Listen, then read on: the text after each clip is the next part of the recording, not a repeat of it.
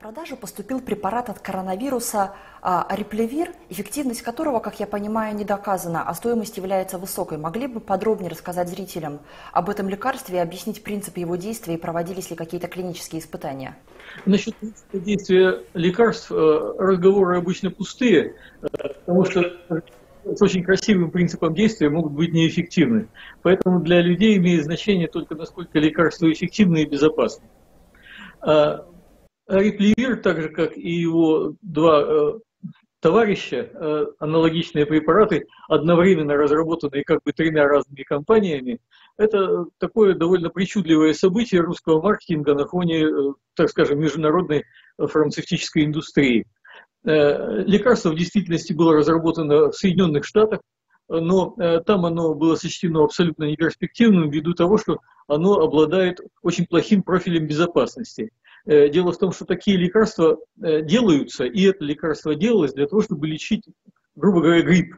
Ну и в широком смысле простудные заболевания, как говорят э, в Англии common cold, а, у нас высоконаучным языком называют просто респираторные вирусные инфекции. Так вот, для лечения таких болезней нужны очень, очень безопасные препараты. А у этого препарата есть очень неприятное действие, а именно он влияет на развитие плода в утробе матери, и это э, категорически э, блокирует использование этого препарата для лечения простудных заболеваний. Связано это с тем, что э, значительная часть женщин, даже если они планируют беременность, они в течение некоторого времени не знают, что они беременны. Иногда это длится неделями, иногда и месяцами. Это удивительно, что такая особенность не пришла в голову российским регуляторам, когда они заинтересовались этим лекарством. Так вот, американцы из-за того, что э, побочное действие в виде э, э, тератогенного действия на плод э, является неблагоприятным, и они не зарегистрировали этот препарат, потеряли к нему всяческий интерес, этот препарат был подхвачен в Японии. Э, японский регулятор, а э, японское агентство, контролирующее э, лекарства, является одним из лучших в мире – и вот э, они пришли к заключению, что этот препарат нельзя регистрировать для э, лечения коронавирусной инфекции. Э, по времени это совпало с большой компанией наших трех производителей в России, которые начали этот препарат впаривать как свою собственную разработку. В чем заключается их собственная разработка, никто понять не может. В действительности это, конечно, химическая копия того, что существует в Японии, но они почему-то предпочитают называть своей собственной разработкой. При этом они своей разработкой называют даже схему применения, что является абсолютным нонсенсом, потому что э, лекарства не регистрируются с их схемой применения. Разработчики российского лекарства от коронавируса под названием Авифавир сегодня пообещали сделать его дешевле аналогов на 30%. То есть, скорее всего, препарат будет стоить в аптеках около 8 тысяч рублей. И разрешение на его амбулаторное применение ожидается в октябре. Пока же им лечат только в стационарах. В Российском фонде прямых инвестиций сегодня сообщили, что эффективность этого препарата в борьбе с коронавирусом подтверждена японской корпорацией Fuji, которая разрабатывает аналогичное собственное лекарство.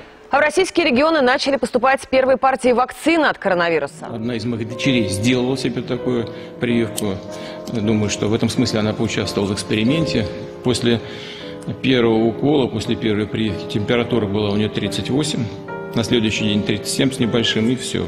После второй, э, второго укола, второй прививки тоже температура немного поднялась, ну и все, сошло потом на нет. Чувствует себя хорошо, и, и титры высокие. Надеюсь, что мы сможем в ближайшее время начать массовый выпуск. Вот что важно. Массовый выпуск э, этого препарата с тем, чтобы э, все, кто хочет, э, это, конечно, должно быть сделано исключительно добровольно, я уже говорил на этот счет неоднократно, все, кто хочет, могли бы воспользоваться разработками и достижениями наших специалистов, наших ученых. Ну вот, тем не менее, эти препараты у нас вышли, вышли на рынок. Сначала они были зарегистрированы, учитывая их плохой профиль безопасности, как препараты для лечения э, в стационаре, то есть под строгим контролем врача. А э, теперь в сентябре месяце они были перерегистрированы для лечения в амбулаторных условиях. То есть, э, грубо говоря, их, подчеркиваю, приблизительно такая ситуация, что они будут в аптеках, и всякий может туда прийти и как бы по рецепту купить. Особенность российской ситуации заключается в том, что у нас лекарства в аптеках продаются без рецепта вполне успешно, за исключением Э, препаратов, влияющих на психику. Ну, известна озабоченность партии и правительства тем, что у нас в России много наркомании. Это действительно так. Э, но что касается э, антибиотиков, противовирусных препаратов, они продаются совершенно свободно во всех аптеках по всей нашей огромной стране. Поэтому, если бы этот препарат появился в массовом количестве в аптеках, безусловно, сотни тысяч людей, может быть даже миллионы, несмотря на его высокую цену, стали его применять. Дело в том, что инфекция представляется убийственной, и поэтому люди готовы тратить большие деньги для того, чтобы начать ее лечение. Так что ситуация чрезвычайно плоха, чрезвычайно плоха в этом смысле. Э, в особенности плохой она выглядит вот почему. Э, есть э, все признаки того, что это лекарство чрезвычайно дешево в производстве. И одновременно ему заявлена очень высокая цена. Этот препарат сразу же закупается в больших количествах на государственные деньги, и закупается без э, конкурсной, правил конкурсной закупки. Это э, совершенно катастрофическая ситуация, которая говорит только о э, сращивании нашего фармацевтического капитала с правительством. Капитал объявляет высокую цену, а правительство за эту цену закупает огромное количество препарата. Ситуация вдвойне ужасна, как в финансовом, этическом отношении, так и с точки зрения безопасности пациента.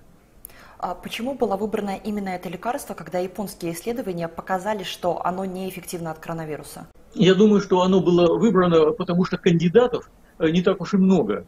Э, те кандидаты, которые э, были до этого, они к этому времени, к маю месяцу, уже показали свою несостоятельность совсем, что называется. И они были долгое время в испытаниях. Я думаю, что здесь речь идет о бизнес-выборе. Он не имеет никакого отношения к науке, к фармацевтике, физиологии или русологии. Это бизнес-выбор. Они выбрали свою цель и развернули атаку. Думаю, что эта атака э, трех компаний является скоординированной э, Э, для того, чтобы э, завалить рынок э, дешевым в производстве, но дорогим, дорогим на рынке лекарств. А, очень высокая цена этого лекарства, тем более, если сопоставлять ее, а, эту стоимость со средними российскими зарплатами, а, ничем не оправдана. Но как она объясняется? Ну, это связано прежде всего с тем, что в установлении цен на фармацевтическом рынке существует только одно правило – не продешевить, не поставить низкую цену.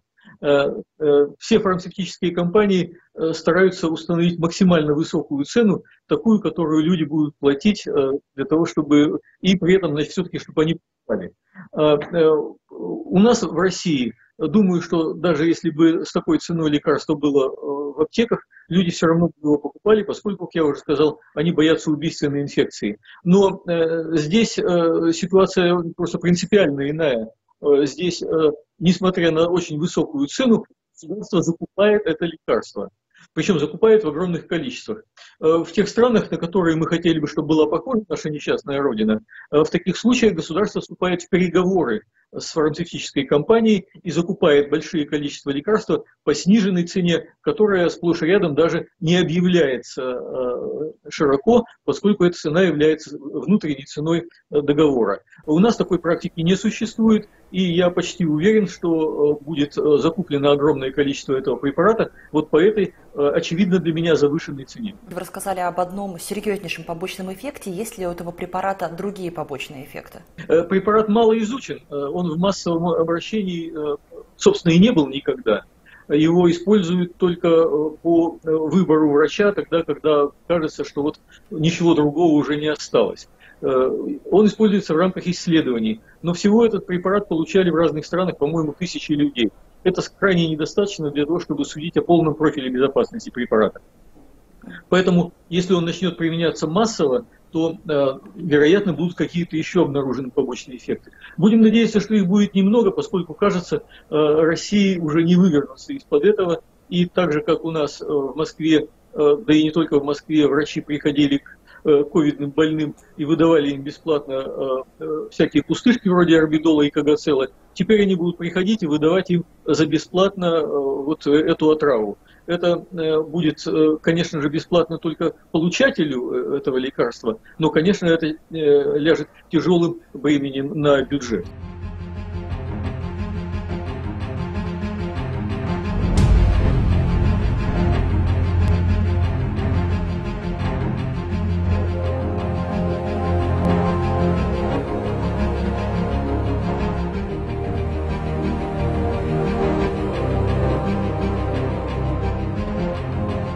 Контролирует цены, кто делает бизнес на здоровье. Остановите грабеж, Владимир Владимирович, вы же можете.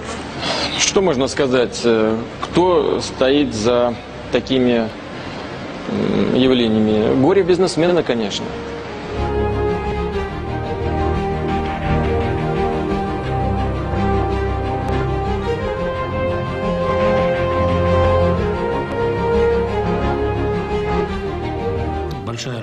Была проведена и по созданию новых современных вакцин. Мы завершили э, регистрацию вакцины э, от гриппа э, четырехвалентную. Это впервые в России произведена эта вакцина. Она была создана нашими микробиологами. И сегодня мы производим эту вакцину вот, э, от антигена, то есть э, от самого начала, с нулевого цикла до выпуска уже готовой продукции. И в сентябре мы уже сможем вакцинировать вот этой новой вакциной населения. Сегодня Ростех активно наращивает долю гражданской продукции. Она уже составляет 25%. Президент поставил задачу увеличить ее до половины к 2025 году. За прошедшие годы Ростех действительно стал флагманом, инструментом качественного развития промышленности России. Увеличение отечественного высокотехнологичного экспорта, новые цеха и целые производственные комплексы, центры подготовки кадров, конкурентная продукция, востребованная как у нас в стране, так и на мировых рынках. Все это результат вашей работы точно выбранной стратегии развития корпорации.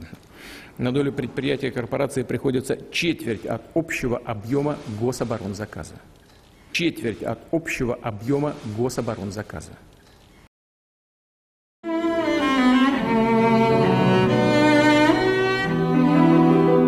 Сергей Ралдугин, виолончелист и дирижер Мариинского театра, близкий друг Владимира Путина. Казалось бы, обычный музыкант, пусть и довольно известный, но утечка офшорных данных выявила, Ралдугин владеет компанией с оборотом 2 миллиарда долларов. Большую часть из них ему фактически дарили госпредприятия и крупные компании. Если богатство предпринимателей, близких к президенту, еще можно объяснить их бизнес-талантами, то успех этого тайного миллиардера стал сюрпризом, кажется, для него самого.